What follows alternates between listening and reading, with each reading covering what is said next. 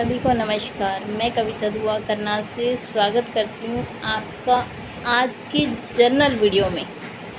आज हम जो वीडियो बना रहे हैं, वो है इलेक्शन का प्रोसेस क्या है हमारे भारत में। वैसे तो नाइन्थ के सिलेबस में टॉपिक है ये, लेकिन ये वीडियो जर्नल है। कोई भी बच्चा इसे देखकर भारत की चुनाव प्रक्रिया को समझ सकता है कि भारत में चुनाव कैसे करवाए जाते हैं। तो सबसे पहले उसमें जो हम देखेंगे, वो है निर्वाचन आयोग के बारे में जानकारी लेंगे कि भारत का जो निर्वाचन आयोग है, वो स्वतंत्रता प्राप्त होने के बाद 1950 में बनाया गया था। जो पहला इलेक्शन हुआ, वो उन्नीस सौ इक्यावन से शुरू होकर बावन तक चला, लेकिन उसे हम उन्नीस सौ बावन का चुनाव के नाम से जानते हैं। उसके अलावा हम जानेंगे कि निर्वाचन क्षेत्रों को कैसे बांटा गया है। कितनी सीटें किस वर्ग के लिए आरक्षित की गई हैं। उसके अलावा जो हम जानेंगे, वो वोटिंग कार्ड या जो एमएलए के इलेक्शन में खड़े होने वाला कैंडिडेट है, उनकी क्या योग्यता है? एमपी के इलेक्शन के लिए जो व्यक्ति खड़े होते हैं, उनकी क्या योग्यता है? उसके अलावा हम जानेंगे कि किसी कैंडिडेट को अगर अयोग्य घोषित किया जाता है तो उसके क्या कारण हैं? और भी बहुत सारी प्रक्रिया, जैसे कि जो इलेक्शन में अपनाई जाती है, उसके बारे में हम विस्तार से जानेंगे कि जब चुनाव की घोषणा की जाती है, उसके बाद क्या प्रोसीजर चलता है। तो चलिए शुरू करते हैं हम अपना आज का वीडियो, भारत में चुनाव प्रक्रिया। चलिए, आज हम इलेक्शन का पूरा प्रोसेस समझेंगे कि कैसे भारत में चुनाव होते हैं। तो सबसे पहले हम उस संस्था के बारे में जानते हैं जो कि चुनाव करवाती है, चुनाव आयोग। तो देखिए, चुनाव आयोग की स्थापना 25 जनवरी 1950 को की गई थी। जो चुनाव आयोग है, वो अर्ध न्यायिक संस्थान है, एक स्वायत्त। मतलब उसके ऊपर किसी का कोई, उसके ऊपर कोई और संस्था काम नहीं करती। अपना स्वायत्त संस्था है वो अर्ध न्यायिक संस्थान है, जिसका गठन भारत में स्वतंत्र और निष्पक्ष रूप से चुनाव करवाने के लिए किया गया है। चलिए कुछ और जानते हैं चुनाव आयोग के बारे में। देखिए, जो चुनाव आयोग है, इसमें वर्तमान समय में एक मुख्य चुनाव आयुक्त और दो चुनाव आयुक्त हैं। मतलब कुल तीन सदस्य हैं। जब ये पहले पहल 1950 में गठित हुआ था, तब से 15 अक्टूबर 1989 तक केवल मुख्य निर्वाचन आयुक्त सहित यह एकल सदस्य निकाय था। 16 अक्टूबर 1989 से 1 जनवरी 1990 तक।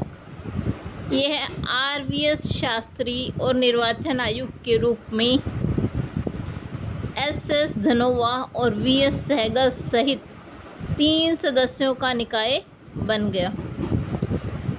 देखिए 89 से लेके 90 तक इसमें तीन सदस्य थे, उससे पहले क्या था? एक सदस्य वाला निकाय था। लेकिन 2 जनवरी 1990 से लेकर 30 सितंबर उन्नीस सौ तिरानवे तक यह एकल सदस्य निकाय बन गया। फिर 1 अक्टूबर तिरानवे से यह तीन सदस्य निकाय है, जो कि वर्तमान समय तक लागू है। मतलब इसमें एक मुख्य चुनाव आयुक्त और दो अन्य आयुक्त हैं। चलिए, अब हम देखते हैं कि सीटों का बंटवारा कैसे किया जाता है। तो देखिए, सीटों का जो बंटवारा है, वो जनसंख्या के आधार पर किया जाता है कि किस राज्य में कितनी जनसंख्या है, उसी के आधार पर सीटों का बंटवारा किया जाता है। देखिए, जो आपको वाइट कलर में दिखेगा मैप में, वो सामान्य श्रेणी की सीटें हैं। हम लोकसभा की बात कर रहे हैं, लोकसभा में 412 सीटें। कुल पाँच सौ तिरतालीस में से जो चार सौ बारह सीटें हैं, वो सामान्य जाति की हैं। चौरासी जो हैं, अनुसूचित जाति की और जो सैंतालीस हैं, अनुसूचित जनजाति के कैंडिडेट्स के लिए आरक्षित की गई हैं। तो इस तरह से सीटों का बंटवारा किया गया है कि देखिए जो कुल हैं कुल सीटें हैं पाँच सौ तिरतालीस पाँच सौ तिरतालीस में से जो आपकी चार सौ बारह हैं, वो सामान्य जाति के लिए, चौरासी अनुसूचित जाति के लिए, सैंतालीस अनुसूचित जनजाति के लिए तो इस तरह आपकी टोटल सीटें कितनी होंगी? पाँच सौ तिरतालीस और ये अलग अलग कलर में दिखाया गया है कि कहाँ पर अनुसूचित जाति की सीट आरक्षित है, कहाँ पर अनुसूचित जनजाति की। और कहाँ सामान्य श्रेणी ठीक है? ये आपको इस मैप में बताया गया है कि कहाँ पर कितनी सीटें लोकसभा की हैं। देखिए, अरुणाचल प्रदेश में 25 और सॉरी, दो आंध्र प्रदेश में 25 सीटें लोकसभा की हैं। आसाम में 14 बिहार में 40 छत्तीसगढ़ में 11 गोवा में दो, गुजरात में 26 हमारे हरियाणा में 10 सीटें।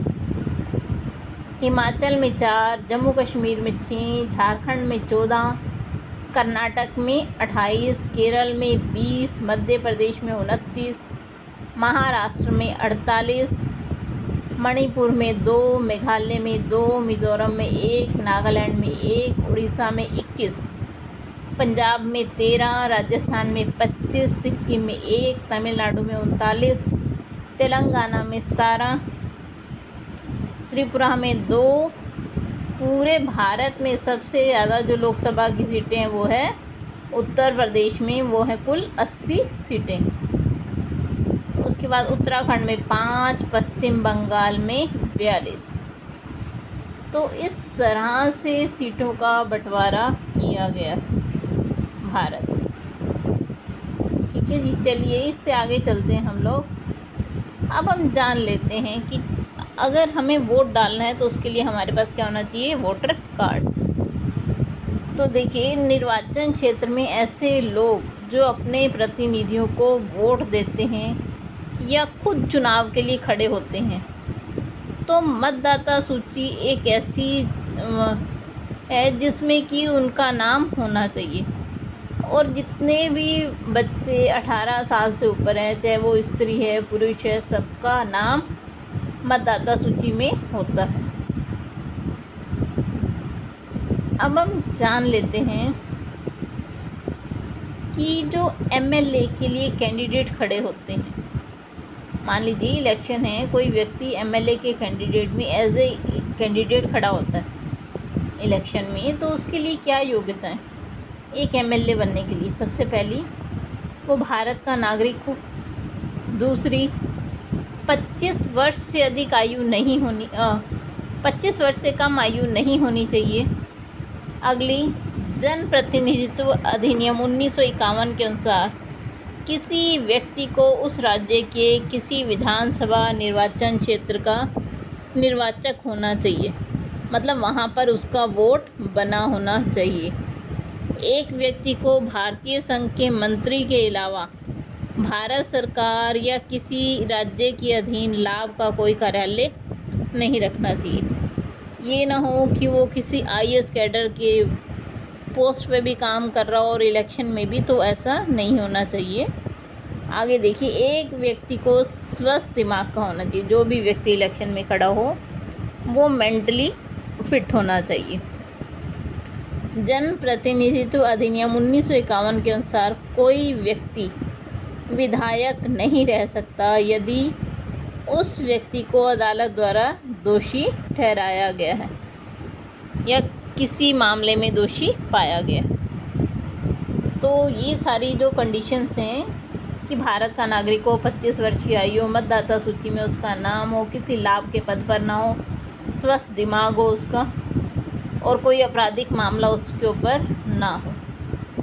अब हम जान लेते हैं कि एमपी के लिए, जो लोकसभा इलेक्शन के लिए खड़े होते हैं लोग, उनके लिए क्या योग्यता है? देखिए सेम ही है लगभग कि भारत का नागरिक को 25 वर्ष की आयु हो, किसी संसदीय क्षेत्र में मतदाता होना चाहिए, मान्यता प्राप्त राजनीतिक दल द्वारा उसे अपना कैंडिडेट नॉमिनेट किया जाना चाहिए और उसे पच्चीस हज़ार रुपये सुरक्षा जमा करानी होती है। मतलब एज ए सिक्योरिटी अमाउंट जमा करवाना होता है और उसका नाम दस व्यक्तियों द्वारा प्रस्तावित किया जाना चाहिए। अभी तो हमने देखा कि उनको क्या क्या एलिजिबिलिटी क्राइटेरिया अब हम देखते हैं डिसक्वालीफाइंग क्राइटेरिया क्या है? कि उन्हें क्यों डिसक्वालीफाई किया जा सकता है?